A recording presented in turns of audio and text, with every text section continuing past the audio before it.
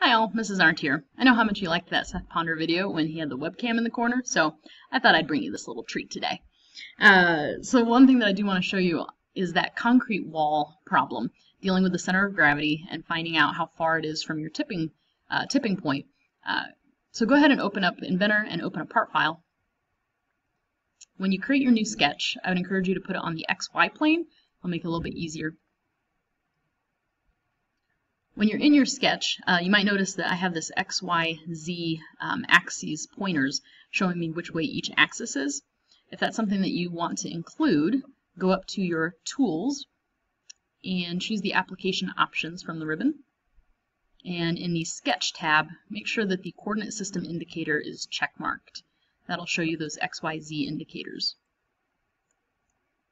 When you're creating this particular sketch, one thing you want to make sure you do is anchor the bottom left point of the entire sketch right on the axis, uh, excuse me, right on the origin. So I'm not going to create the same part that you're making. Um, I do want to make something kind of interesting with a fun center of gravity. Um, make sure you dimension your entire sketch. Make sure it's fully constrained. And one thing to notice is that our inventor part file is in inches and our uh, the dimension drawing is in feet. So if you're trying to make something six feet, you could either label it uh, six feet, or you could take six times 12 uh, to put it in a number of inches. So I'll leave that up to you, how you want to make that work. Uh, if I want to make my top seven, seven feet, I'll take seven times 12 to get the large number of inches in there. So finish dimensioning everything that you're planning to dimension.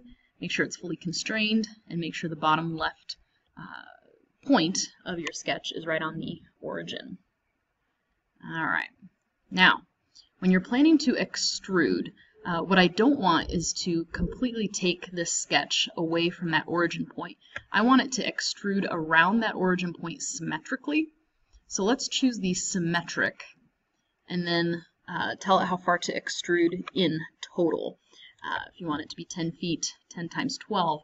And what it does is it extrudes evenly. So 5 feet are on one side, 5 feet on the other. So 10 feet total is what I wanted to extrude there.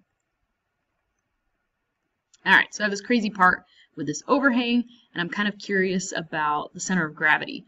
Um, so what I'm going to do now is right click on my part name at the top of the browser bar, open up the iProperties, and under physical, be sure to click update.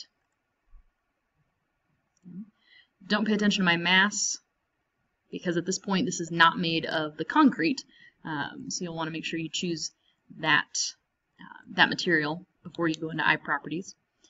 The center of gravity that it's talking about here um, is telling me how far it is in each uh, dimensional direction.